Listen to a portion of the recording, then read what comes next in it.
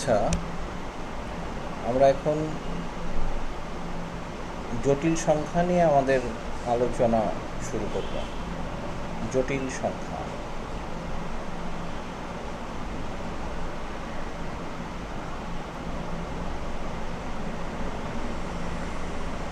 জটিল সংখ্যা। আমার লেখা মনে হয় খুব বেশি সুন্দর হচ্ছে না বাট আশা করি একটু লেখা চর্চা হয়ে গেলে তারপরে লেখাটা সুন্দর হবে। তো যাই হোক। তো জটিল সংখ্যা নিয়ে আলোচনা করার আগে আমি একটু বাস্তব সংখ্যা নিয়ে কথা বলতে চাই। বাস্তব সংখ্যা কি? খুব সহজভাবে যদি আমরা বলি যে বাস্তব সংখ্যা হচ্ছে সেই সংখ্যা, যেই সংখ্যার বর্গ সবসময় ধনাত্মক হবে। দ্যাট ইজ আমরা যদি এক্স কোনো বাস্তব সংখ্যা মনে করি, তাহলে x square is greater than or equals to zero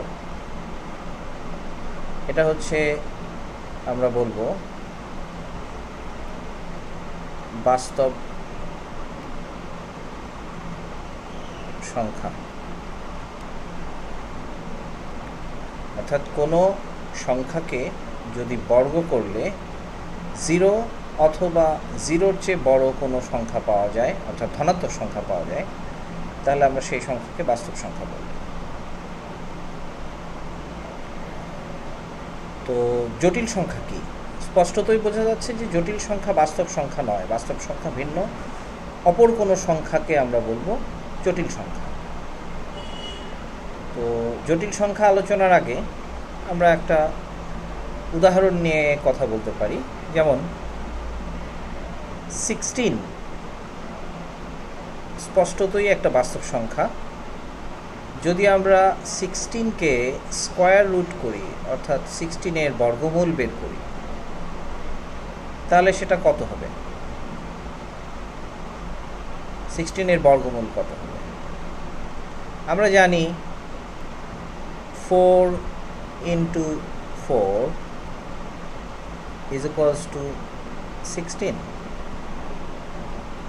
আবার বাস্তব সংখ্যার বৈশিষ্ট্য থেকে আমরা এটাও জানি যে minus four into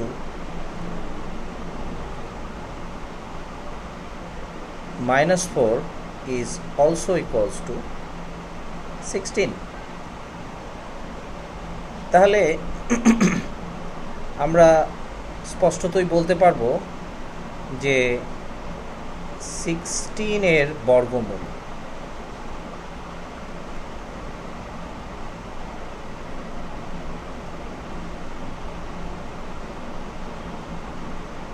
সিক্সটিনের বর্গমূল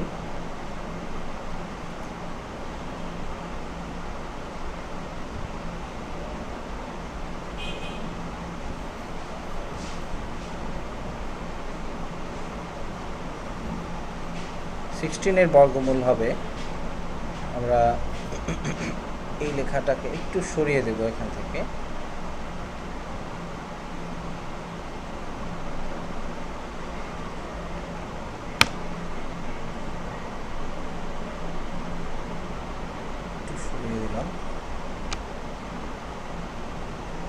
সিক্সটিনের বর্গমূল হবে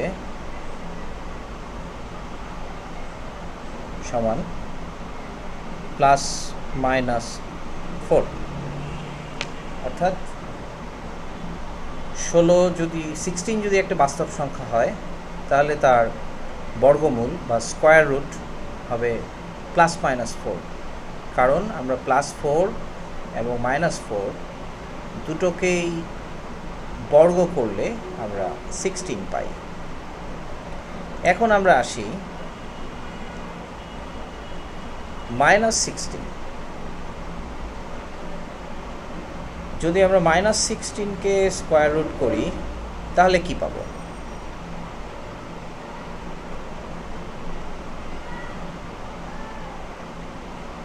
তাহলে কি পাবো? স্পষ্টতই বোঝা যাচ্ছে যে মাইনাস সিক্সটিন হবে এমন একটা কিছু, যেখানে যাকে ধরে নিলাম আমি four into four equals to minus sixteen কিন্তু আমরা জানি যেটা হবে না।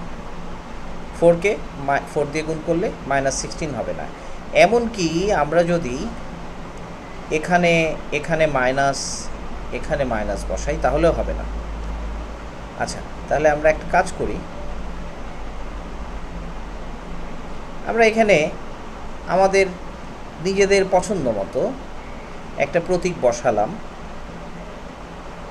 এবং যেহেতু আমরা প্রতীকটাকে কল্পনা করেছি, সেই প্রতীকটার নাম দিলাম আই। আই ফর ইমাজিনারি বা কাল্পনিক। তাহলে এই যে সমতাটা আমরা লিখলাম। এটা একটা সমতা, একটা ইকুয়েশনের মতো।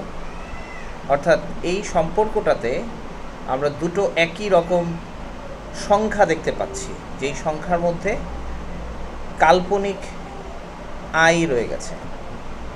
তাহলে এই দুটো সংখ্যাকে গুণ করলে হবে মাইনাস সিক্সটিন তাহলে আমি এই জিনিসটাকে এইরকমভাবে লিখতে পারি।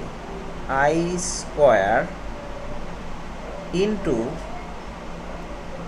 four square equals to minus one into sixteen তাহলে আমরা কি পেলাম? I square equals to minus one এখানে আমরা কাল্পনিক সংখ্যা আইকে সংজ্ঞায়িত করলাম। অর্থাৎ আই হচ্ছে এমন কোনো কাল্পনিক সংখ্যা যাকে স্কোয়ার করলে আমরা মাইনাস ওয়ান পাব। তাহলে আমরা যেটা পাচ্ছি সেটা হচ্ছে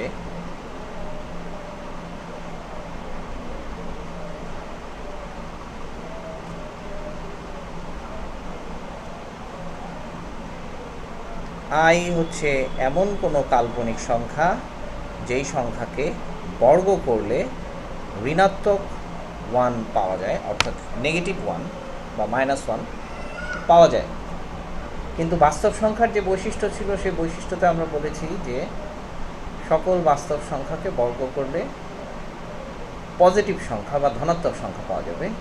কিন্তু আই প্রতীক দিয়ে আমরা এমন কোনো একটা সংখ্যার অবতারণা করলাম যাকে বর্গ করলে ধনাত্মক সংখ্যা পাওয়া যাবে না, বরং ঋণাত্মক সংখ্যা পাওয়া যাবে এবং সেই সংখ্যাটি হচ্ছে মাইনাস ওয়ান তো এই আইকে বলা হয় কাল্পনিক একক। অর্থাৎ এটাকে আমরা বলতে পারি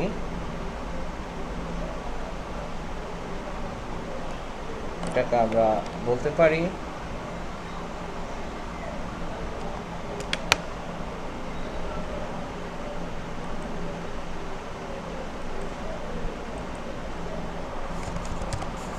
Unit of imaginary number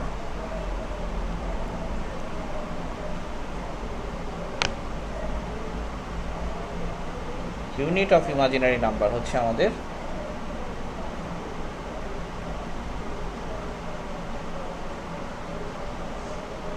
I. তাহলে যে কোনো বাস্তব সংখ্যা, যেমন আমরা যদি বলি ফাইভ যে কোনো বাস্তব সংখ্যা যদি আমরা বলি ফাইভ